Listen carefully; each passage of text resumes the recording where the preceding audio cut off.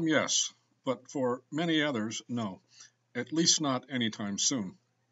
I have done considerable research into the subject and have concluded that there is no single correct answer. However, there is one recommendation I would make for every business that relies on Visual FoxPro to run their businesses. Understand the issues and plan ahead. You have four choices. You can stay with your current Visual FoxPro program. You can convert to another language, such as .NET. You can upgrade your Visual FoxPro program, or you can switch to an off-the-shelf program. Your first choice is to stay with your current Visual FoxPro program. If you own a smaller business with a relatively simple program, you should have at least until about 2020 to begin transitioning, and possibly much longer. What are the pros and cons of this choice? First, it will save you money in the short term. You can continue using the program that your employees know well and making changes is relatively easy. What are the cons? As fewer FoxPro programmers are available, hourly rates will increase. In an emergency, you may not be able to find a programmer, resulting in substantial impairment of your ability to run your company. Sometime in the next 5 to 10 years, all or part of your program may not run on the computers available the number of years you will be able to run smoothly is speculative, so you run a risk by waiting too long.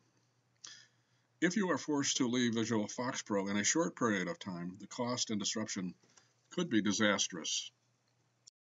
Your second alternative is to convert to another language. The larger and more complex your program, the sooner you should get started. But large or small, Converting to another language will give you the opportunity to improve on what already works for you, your custom program. What are the pros of converting to another language such as .NET?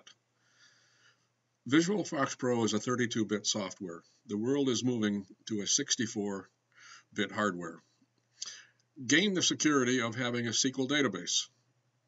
Because you have SQL, you can do your own ad hoc queries and reports using such tools as Microsoft Access.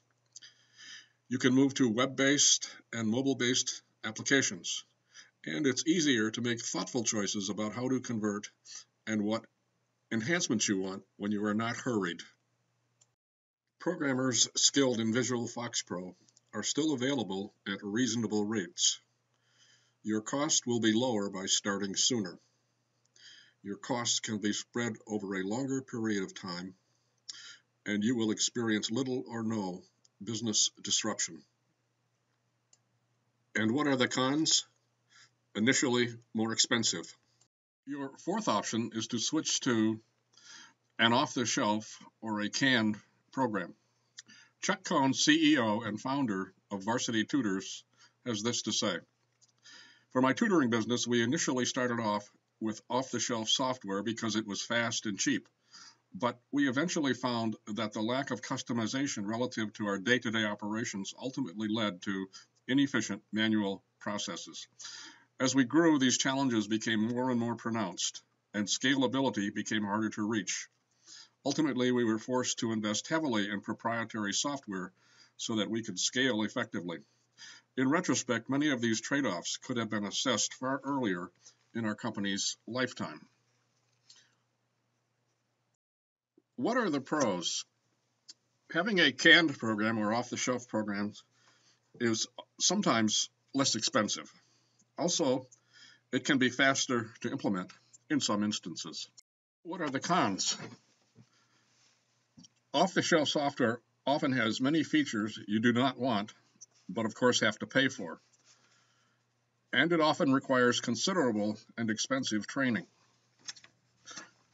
It is unlikely to meet perhaps more than 70% of your needs, in some instances less. It can be very difficult and often impossible to get the changes that you need. Some of these are critical changes. The cost of custom changes is often extremely high. And it often not compatible with other software. If the vendor goes out of business, and this does happen, you could face a catastrophe.